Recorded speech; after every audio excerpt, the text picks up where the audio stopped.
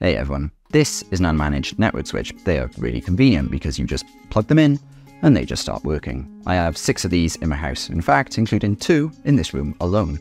But when I recently really needed to buy a seventh switch, I went with a managed one.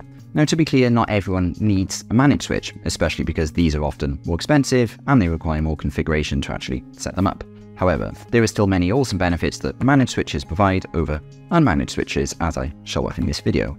So Managed Switch will give you access to a dashboard, one that you often access through your web browser. These allow you to see loads of information about all of your connected devices, including how busy each device is on the network, what Ethernet speed they've negotiated with the port, any issues with the device, and a whole lot more.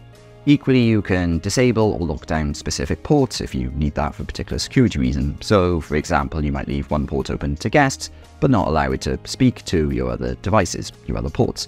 Then you can also limit the speed that that port actually runs at. You can also create VLANs, which are really powerful features of managed switches, and I'll show these off in more detail later on in this video. But everything I've mentioned so far is a software difference between the two types of switches, there's actually a physical hardware difference too. When I first took out my Ubiquiti managed switch from the box, it simply dropped onto the floor really quickly because I didn't realize just how heavy it was. The thing is absolutely built like a brick. The package as a whole weighed 1.6 kilograms, whereas the switch by itself was 1.2 kilograms, which is just over 2.5 pounds. My unmanaged TP-Link switch is like 300 grams, which is just over two thirds of a pound. So that's a big difference. And that's because unmanaged switches often have fairly basic hardware inside of them, as these useful pictures from ServeTheHome actually show. And they just blindly forward network packets on without really understanding what each packet is. However, a managed switch will often have more powerful hardware inside it, allowing to deliver the management features that I touched on earlier due to the bundled ASIC, an application-specific integrated circuit. This then allows the managed switch to better understand a bit about what's going on within the network, and then this allows you to track various stats, optimize ports and VLANs for specific applications like voice over IP phones, and a whole lot more. Now at this point you might be thinking, well, my router allows me to go onto a management app and do a bunch of stuff on there. So isn't that also a managed switch? And the answer is yes and no. Helpful, I know. Basically, a router will give you Wi-Fi and it will route internet traffic all around your house. And it'll probably have some form of firewall to protect against malicious attacks. This is known as a level 3 networking device. However, a managed switch is usually a level 2 device. It's mainly designed to give you very fine-grained control of which networks can access each port. That's essentially the difference between a router and a managed switch. The router is quite a public-facing part of your network and deals with internet traffic and the firewall and all that, whereas managed switches often sits behind your router and gives you extra fine-grained control of everything at the port level, something that a router can't do. So at this point I really wanted to show off what a managed switch console actually looks like and runs all the features, and since I have a Ubiquiti switch, this is the UniFi web console on a PC, although you can also download a simple companion app on your phone, which is nice. So this is the UniFi dashboard, and there's a lot of data missing here just because this is designed to show all your Ubiquiti devices, including wireless access points, which I don't have. I've only got the wired switch, uh, and as a result, I've just got my two clients up here. My home lab NAS, which has downloaded over one terabyte of data for this particular time range, and then my study PC, which it's saying is active right now because I'm actually using it. And my HomeLab NAS, I don't think is actively being used at the moment, but that's why the study PC is actually flashing, or maybe that's just because I'm actually connected to it. If we look at the topology page, and it's a very simple diagram because I only have two connected devices, you can see the study PC there is flashing because this is the computer I'm using, and then I got my HomeLab NAS as well. It tells me how I'm connected on each of them, and it gives me the uptime data and things like that. So my NAS has a 10 gigabit networking card, so that's 10 gigabit Ethernet. My study PC then is 2.5 gig just because I'm using the motherboard one. I'm going to upgrade that at some point. Then we come to the UniFi devices page and only have one device. And then it's got two connected devices. And again, it showed me all the data and I can go into there and I can see exactly what ports I have. I can see what devices are connected on each port. I can go into the port manager and you get a lot of information here. What you can do as well is go into a port and then you've got lots of extra control because this is a managed switch. This one I'm about to show is something you would not be able to do on an unmanaged switch. So you can go into a port and you could say, right, that port is disabled completely, so no one can actually plug into that Ethernet port. What you could also do instead is restrict it, and you can assign it a VLAN, and I'll discuss VLANs more in the future, but that's one option you have. Or you can go into manual mode, and then you've got a bunch of other options too, so you can turn on port isolation. So for example, if you've got a particular port that you're allowing your guests to actually plug into, you might want to tick that. And then what that means is that that particular device won't be able to see or talk to any of the other devices on your home network. And again, that's something you're actually not going to have if you have an unmanaged switch.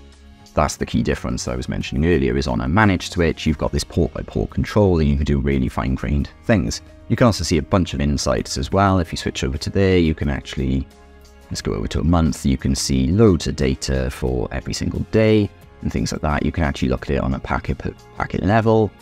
Uh, if you have PoE, which I don't, but if you did, then uh, you need to see data for that as well. You can filter things by broadcast or multicast traffic. Uh, you look at the data per port as well. But the next page I wanted to show is the admin section. So in that, again, you can have lots of users. You can actually set people up. You can allow remote access and things like that. You've got different roles so they can view data or change things and everything like that. And then you've actually got your logs so you can see exactly what somebody's done. So you can come along and you can see, oh, this person's actually opened the mobile app because you also have a mobile app, as I mentioned earlier. With UniFi, um, you can see exactly what they've done. This person's created VLANs and things like that. The nice thing with the login page as well is you can actually come along and look at exactly what each client has done. So maybe if one of your devices kept connecting at a slower speed, you could come in here and debug exactly why. And then you come to the settings, and that's where things get even more interesting, but at least to me. So if you had an access point, you could come in here and you could have separate Wi-Fi networks and things like that. Uh, which obviously this isn't an access point, my switch is just a switch, it doesn't have any um, wireless functionality.